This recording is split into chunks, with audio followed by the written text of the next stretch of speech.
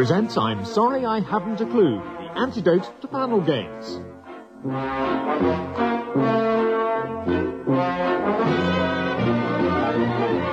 At the piano is Colin Sell, and your chairman is Humphrey Lyttelton.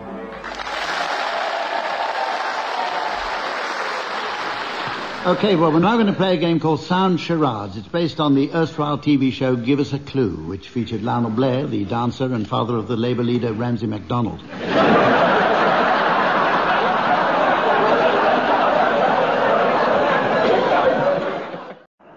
We're now going to play a game called Sound Charades. It's based on Give Us a Clue, the seminal TV show which put Lionel Blair's name on the map.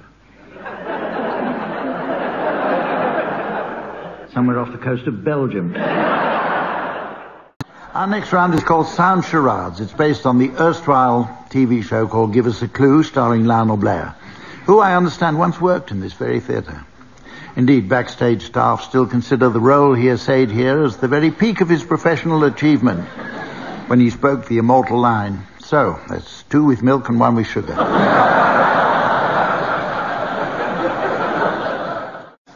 time to play the game called Sound Charades. This is run on similar lines to the TV show that put Lionel Blair where he is today, visiting his aunt in Solihull. Okay, our next round is called Sound Charades. It's based on Give Us a Clue, the TV show where Lionel Blair and Una Stubbs got up off the sofa and performed against the clock. and with the recent with the recent change of government, there's an interesting double connection here. Una Stubbs used to appear as the TV wife of Tony Booth, who is father-in-law to Tony Blair, while Lionel Blair is in fact father of the Labour Prime Minister Harold Wilson.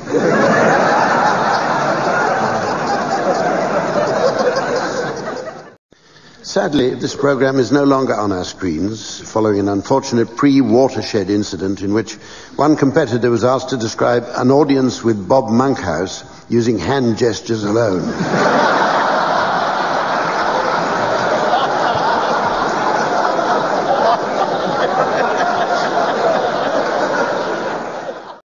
And what a fine entertainment it was. Fans, fans still speak in hushed tones of the day. Una Stubbs, her hands a blur, managed three men in a boat in less than 90 seconds.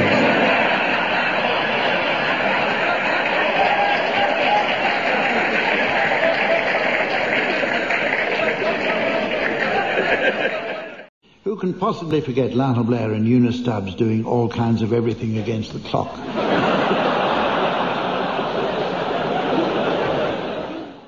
the show's still going on in various guises, but connoisseurs agree that the original lineup was best. No one who witnessed the event will ever forget that sparkle in Lionel Blair's eye as he received Free Willy from Michael Aspel.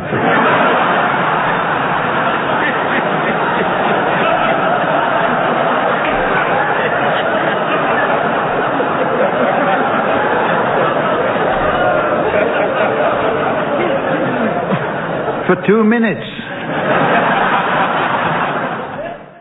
Undisputed expert on the show was Lionel Blair, but even he needed two whole minutes on Harold Pinter's caretaker.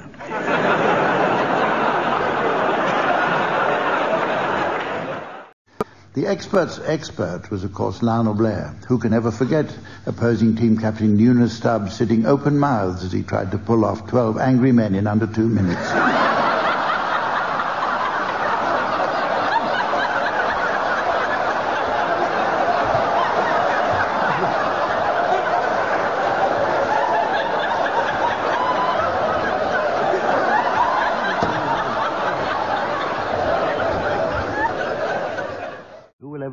Forget the show's now famous Commonwealth tour when Lionel Blair jumped up and displayed his passage to India for the full two.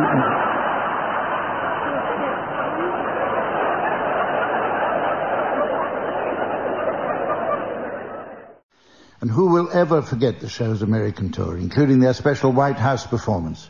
That was the legendary occasion when Una Stubbs, her hands going like tiny steam hammers, scored maximum points for pulling off all the president's men.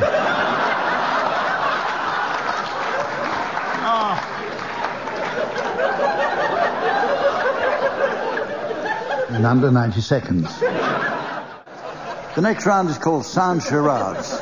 It's based on that great TV show, Give Us a Clue, which has survived on our screens since the 1970s, thanks to excellent production values, fine performances, and the spread of cheap cable channels. and what consistently fine guests they have. A recent edition included the woman who used to do that coffee commercial, a bloke who used to be married to someone out of Emmerdale Farm, Barman 3 from Lovejoy, and Lionel Blair. There's no mention of who he used to be.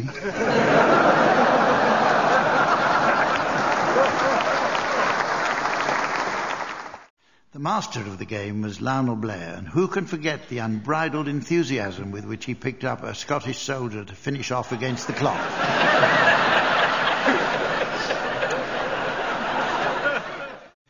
Who will ever forget the Grandmaster himself, Lionel Blair, winning in a world record time of 3.5 seconds when he brilliantly mimed Anchors away by signaling first word sounds like and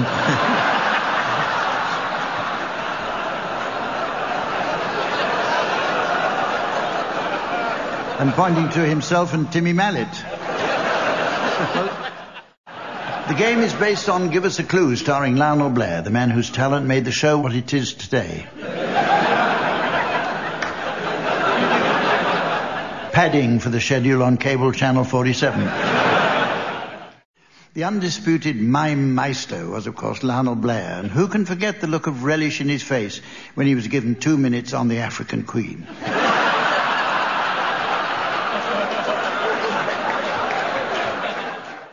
And who can forget that breathtaking finish when Lionel Blair came from behind and had Dirty Harry licked in under two minutes?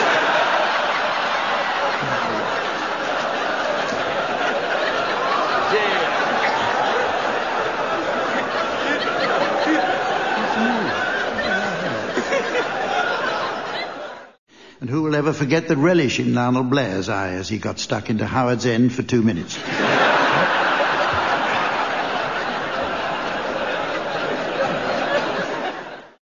And who can fail to remember the occasion he scored double points by skillfully using both hands in different actions to finish off one man and his dog in under 30 seconds? What's wrong with that?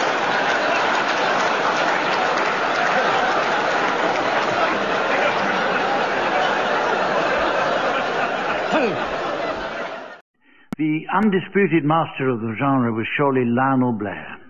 No one who saw it will ever forget the gleam of relish in Lionel's eye as he put everything he could manage into the talented Mr. Ripley for two whole minutes.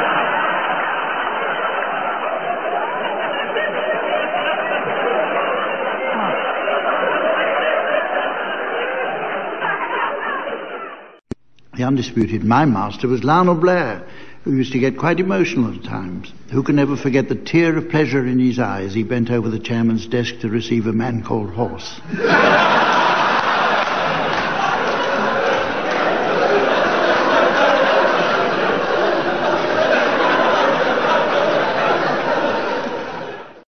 We all recall how film titles were demonstrated in mime against the clock by the Grand Master of the game, Lionel Blair, who would use just his hands to delight his team's members.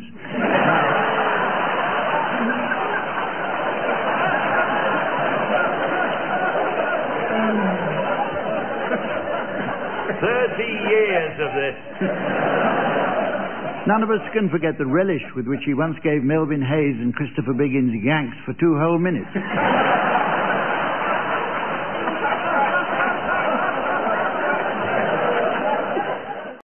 the most highly skilled of all was Lionel Blair.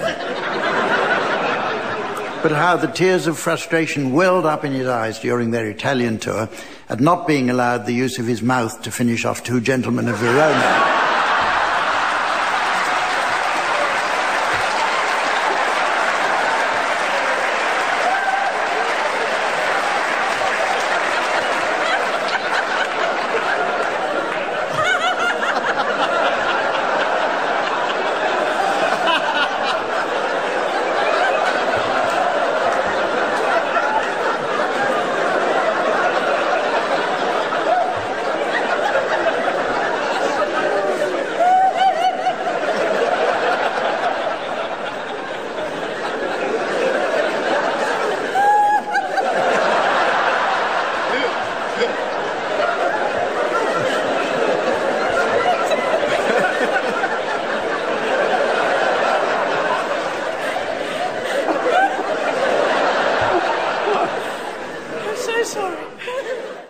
Sadly, however, Give Us a Clue hasn't been made recently, so we'll never see what team captain Lionel Blair would have done with modern films. Lionel used to get quite emotional, and no doubt after two minutes against the clock, the talented Mr. Ripley would have put a lump in his throat.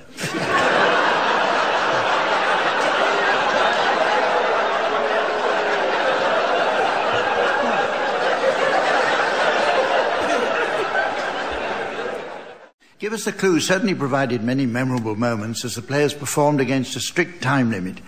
We particularly recall one very early show when Una Stubbs scored maximum points after the teams took only a few seconds to recognize her fanny by gaslight.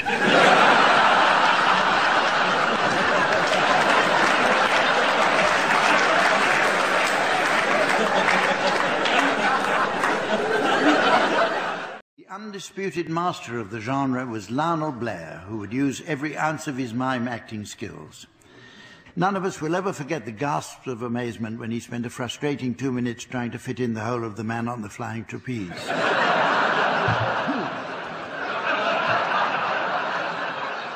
There's not too much double about that on top. Give Us a Clue certainly provided many memorable moments as the players were given their titles on cards provided by the host, Michael Aspel.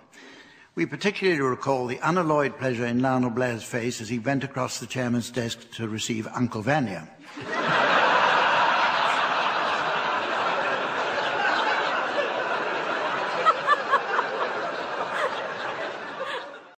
Possibly the most versatile performer was Lionel Blair. And no one will ever forget the occasion he was given at a Town Like Alice when he chose to do a silent impression of the author. Such was the performance, Una Stubbs gasped in amazement when she saw Nevil Shute in Lionel's face. In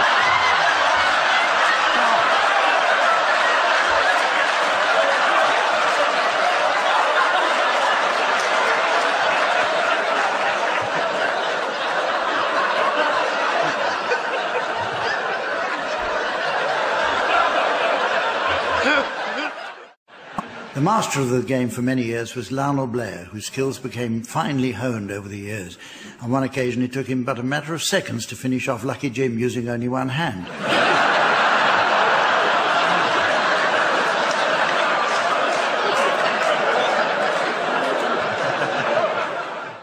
Sadly, the show is no longer aired, but its stars still turn out at such events as celebrity cricket matches, which are not without their hazards. At the Oval last week, Una Stubbs nearly fainted in horror when she saw Donald Blair receive a full toss on the chest from Christopher Biggins.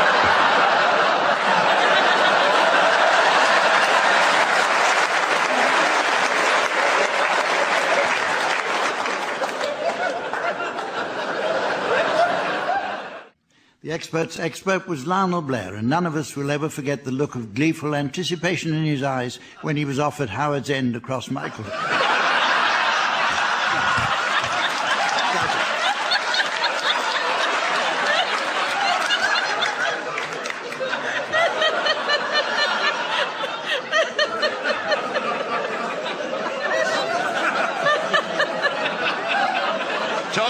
Todd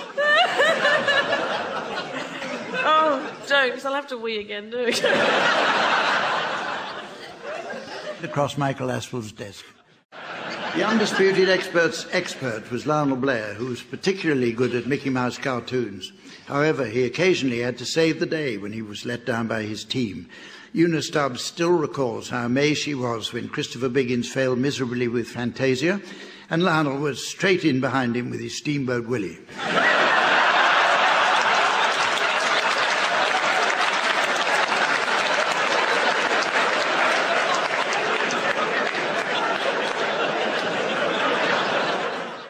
So expert was the Grandmaster Lionel Blair that he even managed to score points on an obscure TV documentary called Tales of Thuggery by, indic- by indicating third word sounds like and calling for assistance from Christopher Biggins. The most accomplished player was without doubt Lionel Blair. But on one fateful visit to entertain the troops, even he was caught out. Lionel was quite happy on the Boogie Woogie Bugle Boy, but he was hard pushed to finish off the rest of Company B in under two minutes.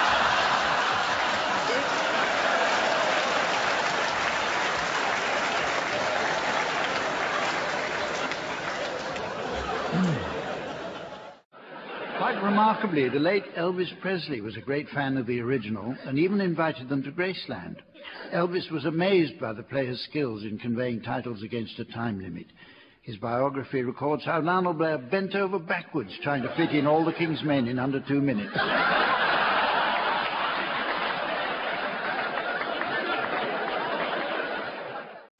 Sadly, the show is no longer aired, but regulars Lionel Blair and Christopher Biggins recently appeared on Stars in Their Eyes, where Lionel singing Maggie May came second to his old teammate. Biggins said Lionel's rod was outstanding, but he easily had it licked.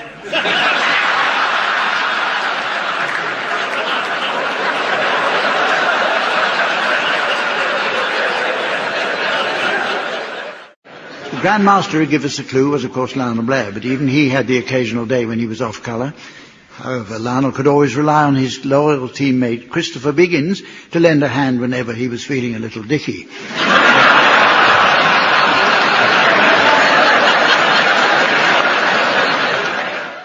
The undisputed master of the game was Lionel Blair, whose TV, whose TV career has sadly waned of late. He did, however, recently audition for I'm a Celebrity, Get Me Out of Here. Lionel's challenge was to sail a raft across a river with a small crew. But sadly, the raft hit a rock and sank, and what a look of horror there was on Ant's face when Lionel went down with both hands on deck.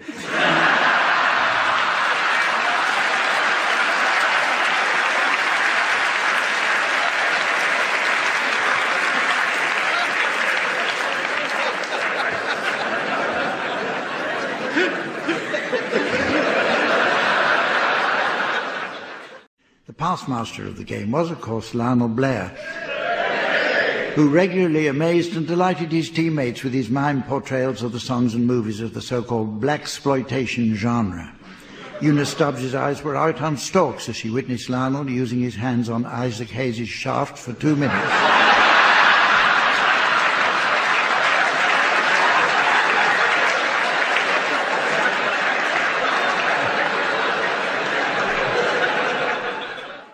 The show's virtuoso was without doubt Lionel Blair.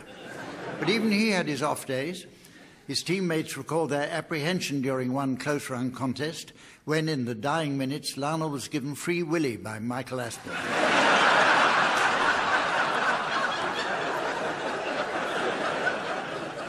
of course, he blew it.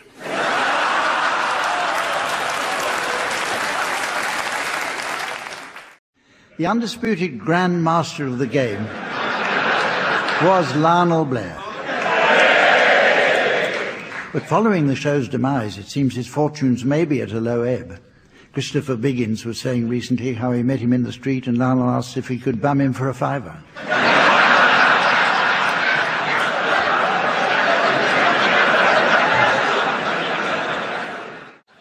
The grandmaster of the genre was, of course, Lionel Blair, who became so, who became so, as you heard, became so renowned internationally. He was invited to Paris to work as a mime coach.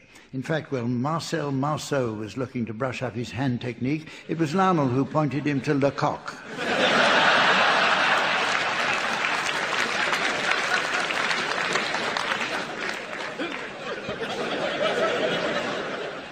The undoubted master was Lionel Blair, who used to work himself to a he used to work himself to a frazzle, leaping up to be given his film titles on cards.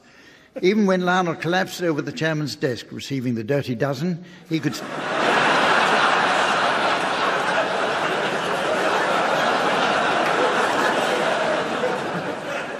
he could still cope with the sting afterwards.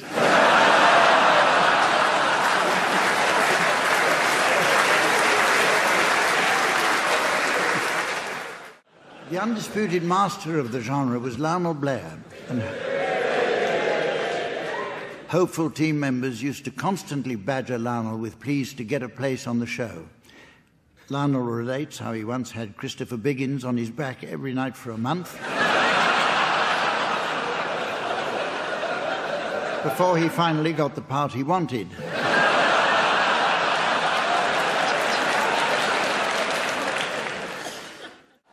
the undisputed master of the game was Lionel Blair his live performances were always loudly praised by his teammates. Una Stubbs recalls listening through the dressing room wall as Christopher Biggins and Melvin Hayes were still gushing 10 minutes after Lionel blew them away on tour.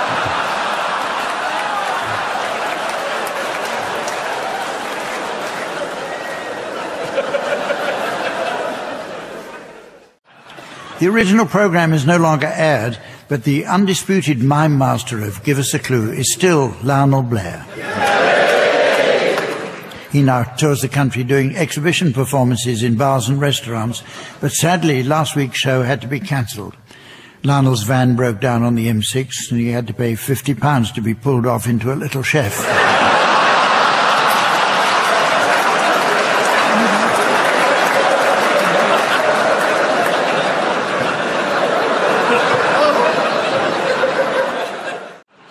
The undisputed master who gave us a clue was Lionel Blair, who could mime virtually any TV or radio program.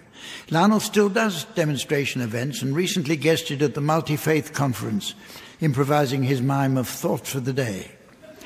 Eyes were out on stalks as he started his impressions of the lesser known presenters before Lionel blew the Bishop of Bath and Wells and the Chief Rabbi.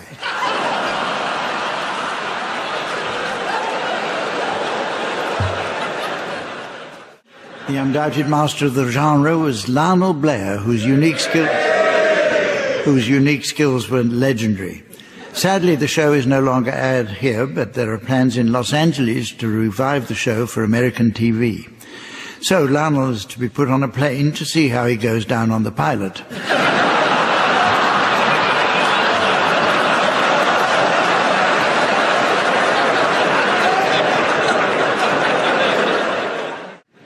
The grand mime master who gave us a clue was Lionel Blair, but since the, since the show ended, he's confined to the occasional pantomime appearance, and they say he's becoming difficult to work with due to his mood swings. In this year's Snow White, they said one minute Lionel could be feeling happy.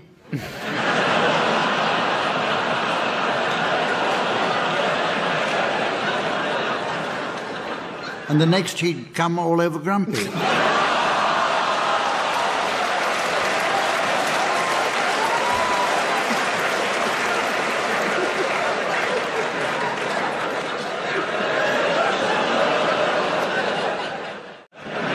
The undisputed mime master who gave us a clue was team captain Lionel Blair. When the show was scrapped, his team was devastated to the point of tears. But ever the trooper, Lionel took a video round to Christopher Biggins, and they pulled themselves together over the fabulous Baker Boys.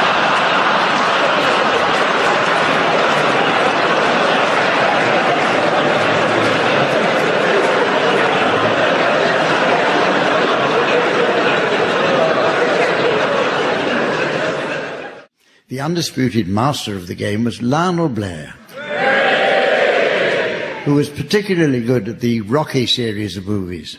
Christopher Biggins relates how Lionel would visit his dressing room to hone his impression of Sylvester Stallone beating his opponents, often going down several times before knocking one out.